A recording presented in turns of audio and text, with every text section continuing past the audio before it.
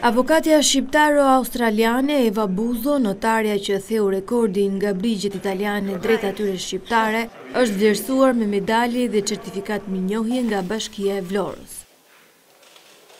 Ndërsa kryetari i bashkisë Ermal Dredha propozoi që shkëmbi në Karaburun të marrë emrin e Eva Buzos. i ka vendosur në fakt në hartën E gjithë Shqipërisë ka vendosur një moment të veçantë që ne dhe duhet në fakt t'ia dedikojmë Evës me atë çka ka bërë, pra aty ku ka prekur në Karaburun, aty ku ka vënë dorën te shkëmbi, kur ka mbaruar këtë garë të gjatë, t'ia vendosim Shkëmbi i Evës, ka qenë një propozim në fakt që kemi diskutuar të gjithë së bashku dhe pse jo edhe për të pasur një memorie të fortë për atë çka është arritur nga Eva. Ndjehemi shumë krenarë që jemi pjesë e këtij rrugëtimi.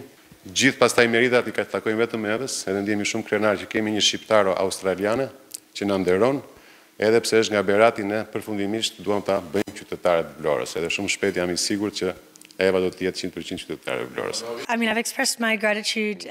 Jam shumë e emocionuar dhe shumë falënderuese për të gjithë ju, mbështetësit e mi gjatë gjithë itinerarit, si bashkia dhe ekipi që më shoqëroi. Falënderoj gjithë shqiptarët që më duan dhe i dua, unë jam shumë e lumtur që arrita t'ia dilja në këtë sfidë.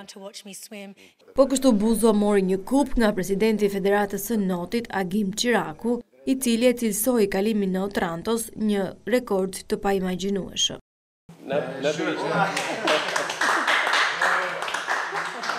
Për ne është gjë e mirë, sidomos për Federatën e Notit, këmbëngulja, sakrifica, vetëmohimi, ana fizike e saj është një shembull që për të marrë jo vetëm për Vlonjatët, për shqiptarët, por në veçanti për sportin shqiptar dhe për gjithë sportistët notarë, është për të marrë shembull.